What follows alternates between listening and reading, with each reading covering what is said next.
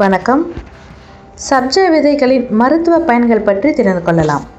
சப்ஜ விதைகளில் பல மருத்துவ குணங்கள் இருக்கிறது. அவை பித்தத்தை குறைக்கக்கூடியது உடல் சூட்டை தணிக்கக்கூடியது. சப்ஜ விதைகளை நீரில் ஊற வைத்து தான் பயன்படுத்த வேண்டும்.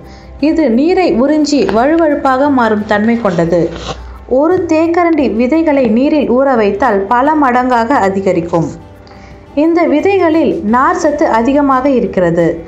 அதனால் சர்க்கரை குறைபாடு இருப்பவர்கள் தினமும் ஒரு தேக்கரண்டி சப்ஜா விதையை நீரில் ஊற வைத்து சாப்பிட்டு வந்தால் சர்க்கரையின் அளவு குறையும். எடையை குறைக்க நினைப்பவர்களும் தினமும் ஒரு தேக்கரண்டி விதையை ஊற வைத்து சாப்பிடலாம். ஜீரண பாதையில் ஏற்படும் புண்களை ஆற்றும் தன்மை கொண்டது. நெஞ்செரிச்சலை போக்கக்கூடியது. மலச்சிக்கலை கட்டுப்படுத்தக்கூடியது. மலச்சிக்கலால் அவதிப்படும் முதியோர்கள் ஒரு தேக்கரண்டி சப்ஜா விதையை சூடான பாலில் கலந்து குடிக்கலாம்.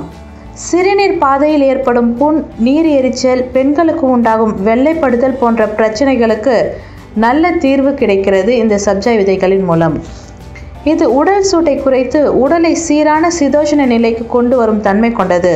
அதனால் கோடை காலங்களில் மட்டுமின்றி உடல் சூட்டால் அவதிப்படும் காலகட்டத்திலும் சப்ஜா விதைகளை சாப்பிடலாம். கோடை காலத்தில் வட மாநிலங்களில் ஃபல்லூடர் என்கிற குளிர்பானத்தில் கலந்து இந்த விதையை பயன்படுத்துவதால் இதற்கு ஃபல்லூடா விதை என்ற பெயரும் இருக்கிறது.